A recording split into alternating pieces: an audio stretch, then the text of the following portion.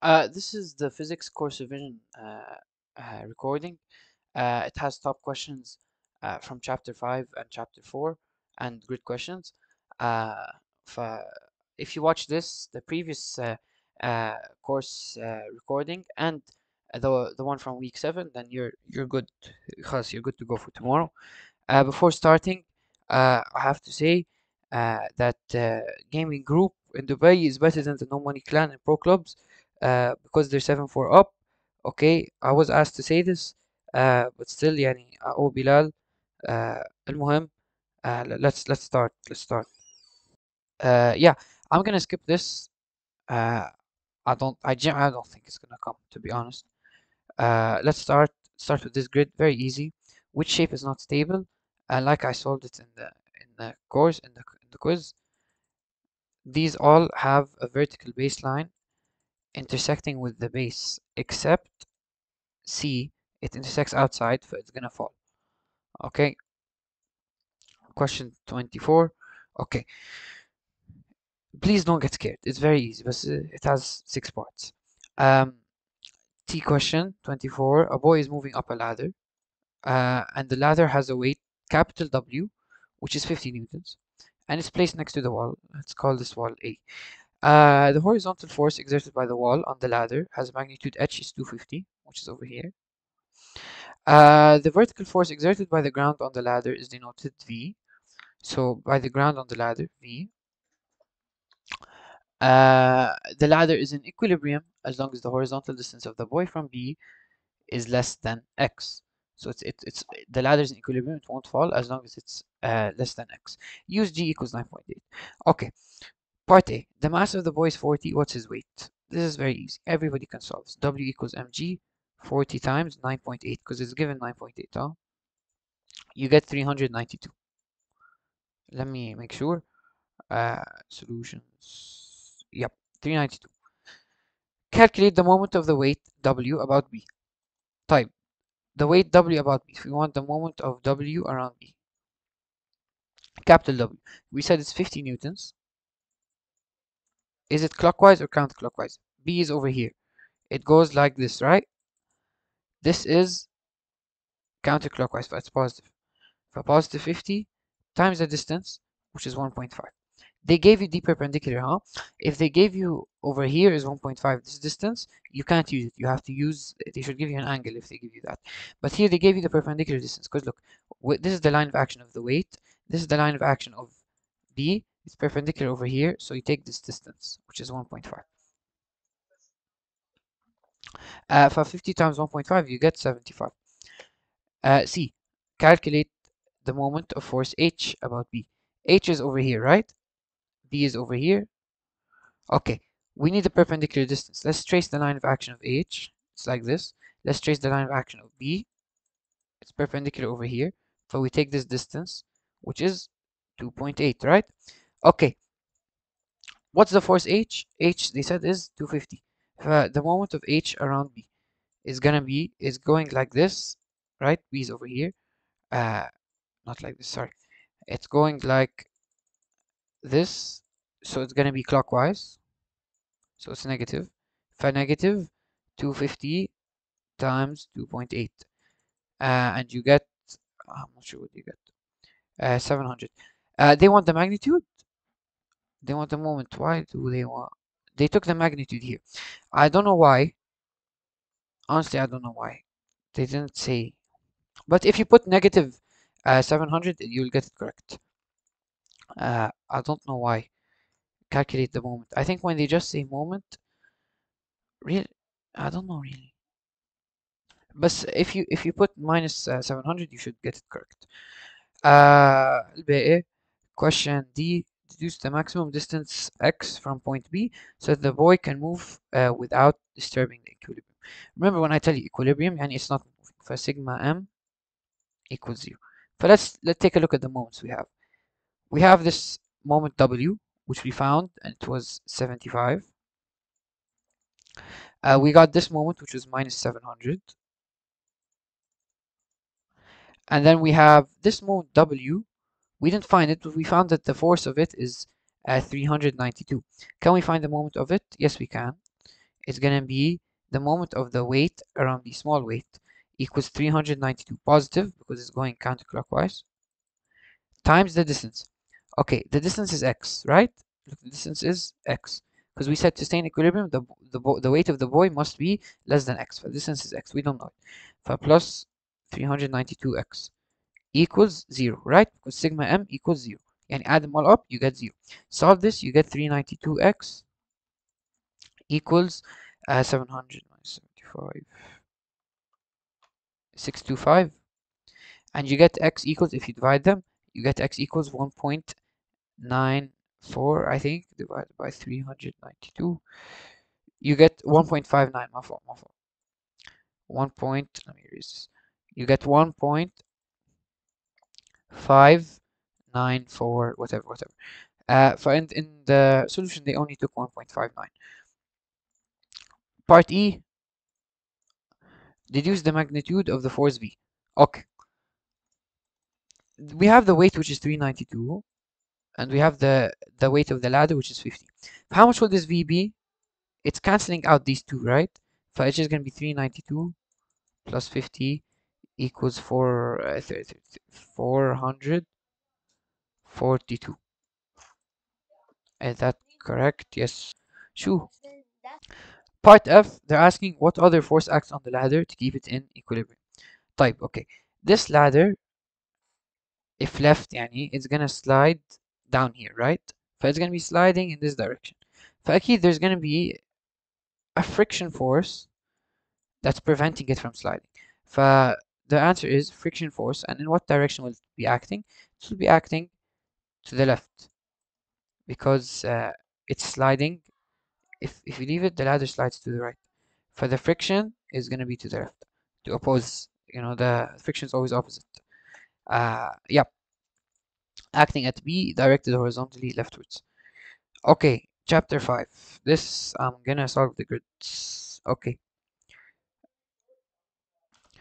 Okay, let's solve 6. Uh, box with a square bottom of side 30. It has a mass of 18. What's the pressure? Pressure equals force divided by area. Uh, the force in this case, we don't have it, but we have the mass. But you know, the force is the weight, right? So the weight over area. What's the weight? It's mg over area. The mass times g. So 18 times 10. So 180 over the area. So can we find the area? It's a square. It has a side of 30. What's the area of it? It's going to be 30 times 30. You know, the area of a square is 30 times 30. Side times side. That's 900. So 180 divided by 900, but that's in centimeters squared. We need to change this to meters squared. For 180 divided by 1 2 3 4 0.09, I think. Uh, do you get the same answer? 180 times 0 uh, divided by 0 0.09. Get uh, 2000, which is, yeah, 2 times 10 to the power of 3. For 7, it's a submarine that has they're saying it has a cylinder length r radius r l radius r cat by whatever whatever yap yap yap yap.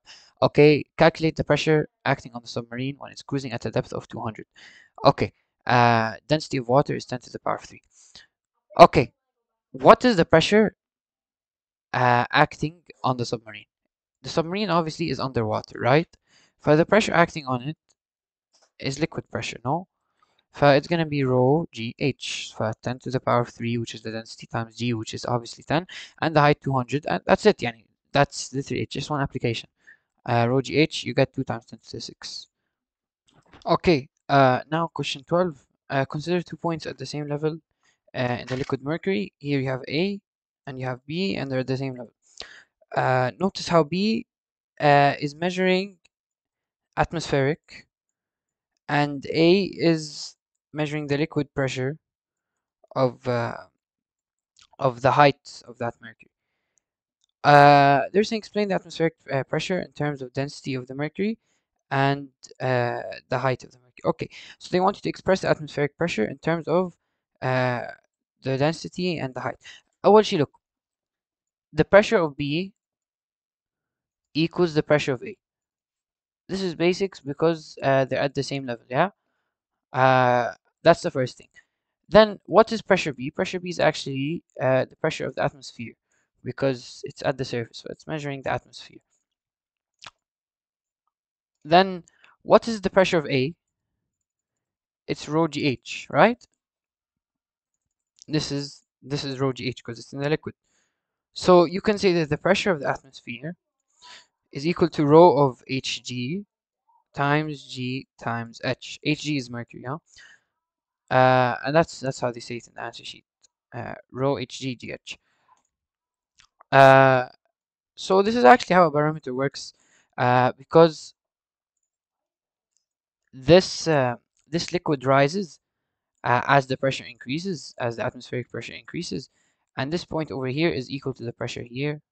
So it rises as the pressure increases, this liquid goes up. So the height increases. Uh, if the height of the mercury column is 75 centimeters, what's the atmospheric pressure? Since we said that the atmospheric pressure uh, from part A is equal to the pressure of the rho uh, GH, then we can do it. Rho is 13,600 times G times 0.75. You get, uh, yep, 102 kPa. kPa يعني kilo. That means you get 102,000. And then they're saying kilo. Divide by 1,000, you get 102 kPa. If you keep it uh, in one, as 102,000 Pascal, please don't for, uh, forget the unit, Pascal. If you keep it in uh, 102,000, that is correct. Uh, okay, question 19. In a hydraulic press, a force of 20 newtons is applied to an area of 0.2. The area of the other piston is to uh, find the pressure transmitted. How much do they want the pressure? Pressure is force over area.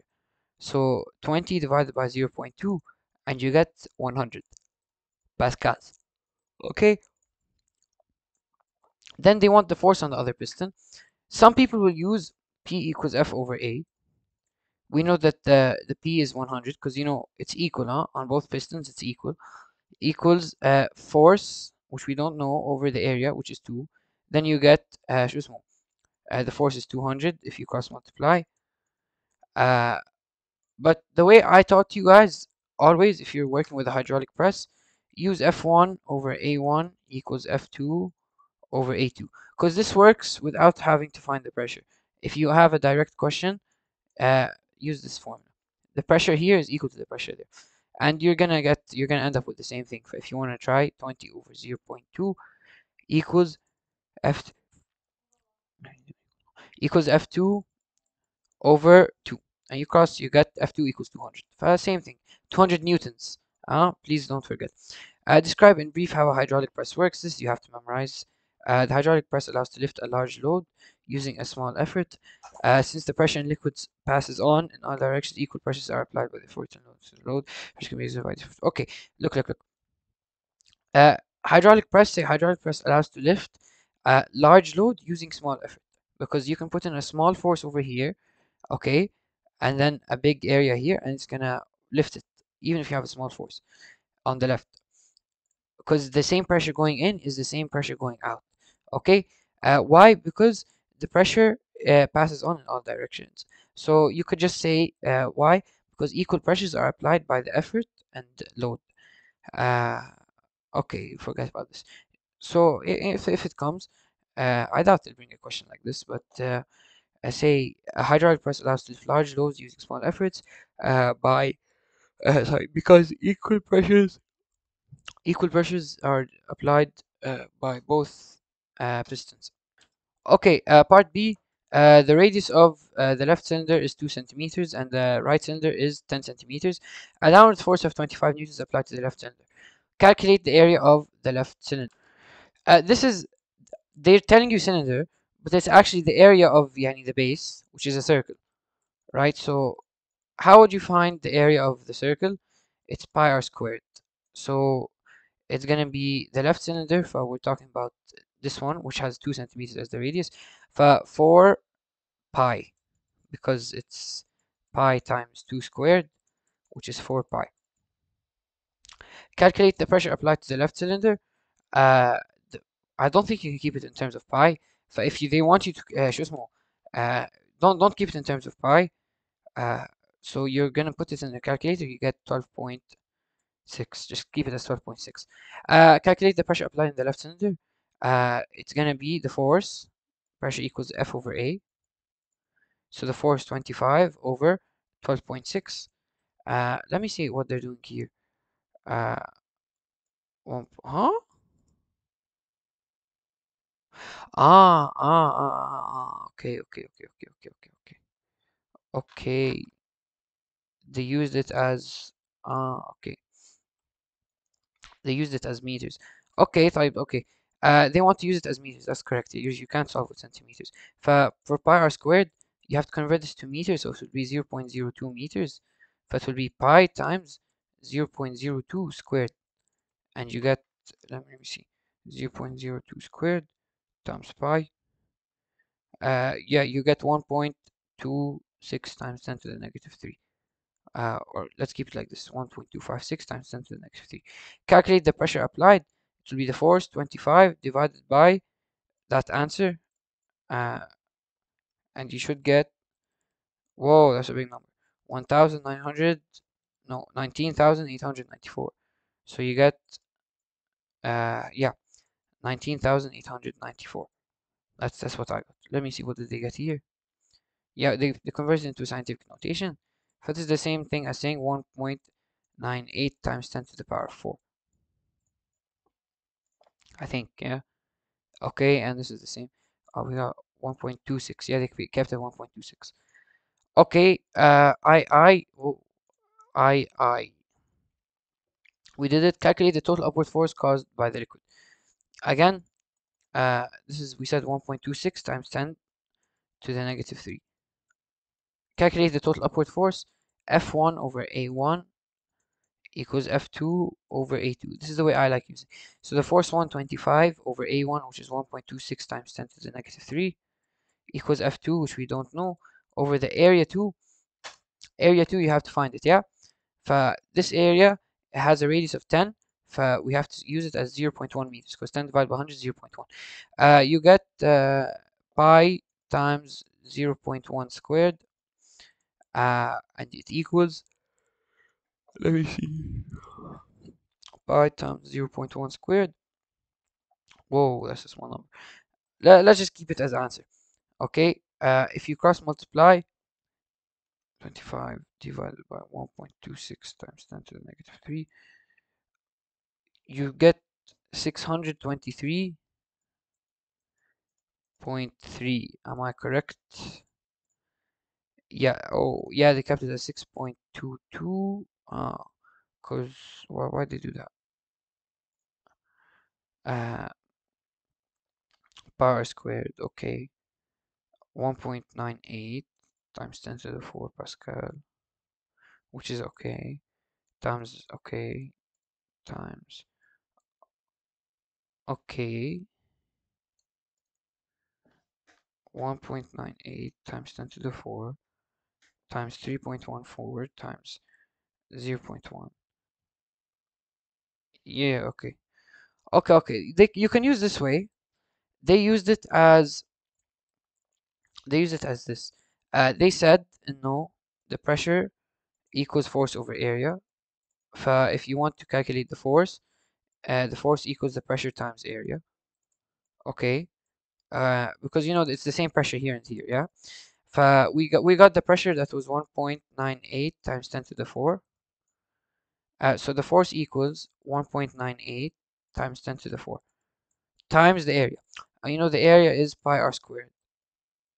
Yeah, they put 1.98 times 10 to the 4 times pi r squared and your r is 0 0.1 for 1.98 times 10 to the 4 times pi times 0 0.1 squared. My way also makes sense and gets you the correct answer, but they, you know, to one significant figure different. If you show your work using my way, uh, you you should get it correct. Also, it's the same way. I don't know. Uh, I think I used because yeah, it's the same way. If you show your work using my way, uh, obviously to the correct significant figures, uh, then you're gonna end up with the same answer. Okay, uh, for whatever you like to use. Uh, now question 21. Okay, this is the question. Some of you guys, yani, you you uh, you were panicking when you saw it. an ice cube it has a density of 920 and side of 5 centimeters is floating in water and uh, the water has a density of 1000 UG equals 9.8 okay calculate the weight of the ice cube. W equals mg do we have the mass of this IQ, ice cube? We don't. But what do we have? We have the density.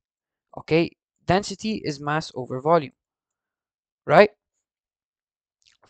the mass equals density times volume.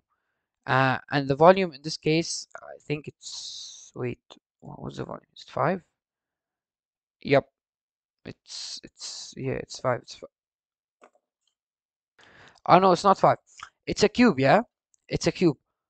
The mass equals d times v. But let's actually let's rewrite this. Let's not find the volume. Let's write this as w equals d times v times g because mass is d times v type w equals the density which is 920 I don't know why I put km it's supposed to be kg uh, times v times 9.8 can we find v okay it's a cube it's a cube uh, cube with side length uh, 5 centimeters can you find the volume of this of course you can أول شيء not don't use centimeters convert it to meters 0.05 meters can you find the volume of it you know the volume of any cube the volume of cube is equal to the side to the power of 3 okay?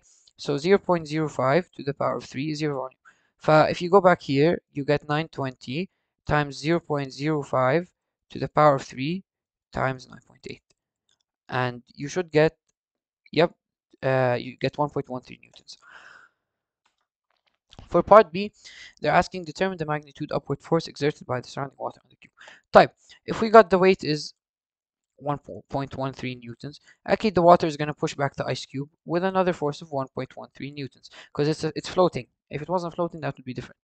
Uh, see, the ice cube is in equilibrium, so it's 1.13 newtons. Deduce the value of x, the height of the ice cube above the water. For for part C, deduce the value of x. It's uh, it's a bit it's a bit tricky. Okay, نحن هلا for part A, we found that the weight of the ice cube is equal to density times volume times g. We found our weight is 1.13. That's the force acting downwards. The density of the water doesn't change, right? It's 1000. The volume, now, I, I want to calculate the volume of this uh, part of the ice cube that's underwater. So let's keep it as V and G is 9.8. So we can find V by dividing everything on the other side. 1.13 divided by 1000 times 9.8. Uh, what you should get, uh, yeah, you get this. 115, 1.15, 115, 115 times 10 to the negative 6 meter cube. Okay, that's what you get as your volume طب okay شو خاص okay look here the volume of any shape from geometry is equal to area of base times the height طيب okay what's the base over here it's a square right with sides L and L so the area of the base is L squared the height is the side L. We want this part, right? Minus X minus this part here. So if I could like rewrite this, uh, say this one more time. The volume is the area of the base. The base stays the same, right? We're only cutting the height. Only cutting the height. The height now, it used to be L, right? Because it used to be a cube. It used to be L we only want this part so we're taking away this x over here. We're taking away this part. For this height here is equal to L minus x. L squared times L minus x equals V. Let's substitute a bit. We know the side is 5 centimeters which is yeah 0 0.05 meters squared uh, times 0 0.05 minus x equals 116 times 10 to the power of negative 6 because this is the volume we found. For 0.05 minus x equals 116 times 10 to the negative 6 over 0.05 uh, squared. Let's put this on a calculator. You're gonna get 0.0464 so 0.05 minus x equals 0.0464 uh correction I don't know why I put 116 it's 115 uh 115 115 I wrote here 115 so I don't know how I got 116 over here. Uh yeah 115 sorry times 10 to the negative 6 over high you get 0.046 take uh, minus x equals 0 0.046 uh, minus 0 0.05 you get x equals uh, I think it's you're gonna get x equals 4 times 10 to the negative 3 uh, if you subtract it you get a negative answer but since you have negative x equals negative it becomes positive uh, you get 4 times 10 to the negative 3 which is equal to 0 0.004 meters. Uh, depends I don't know if they want it in meters keep it as this but if they want it in centimeters you multiply by 100 and you get x equals uh, 0.4 centimeters. Uh, I'm not sure if that's correct let me see. Uh, yeah x equals 0.4 centimeters. Using your answer to see explain why icebergs constitute a danger to the ships okay if you have a height of 5 okay only 0.4 of it is up and the rest of the 4.6 is actually underwater. It can't be seen. For only the 0.4 part of it can be seen and the rest is float is uh, sunken underwater. Why do you think that's a th threat to the ship? Because most of an iceberg's height is underwater which is unseen to the ship and that's thus capable of damaging the ship. That's it for the recording. Thank you so much for watching and good luck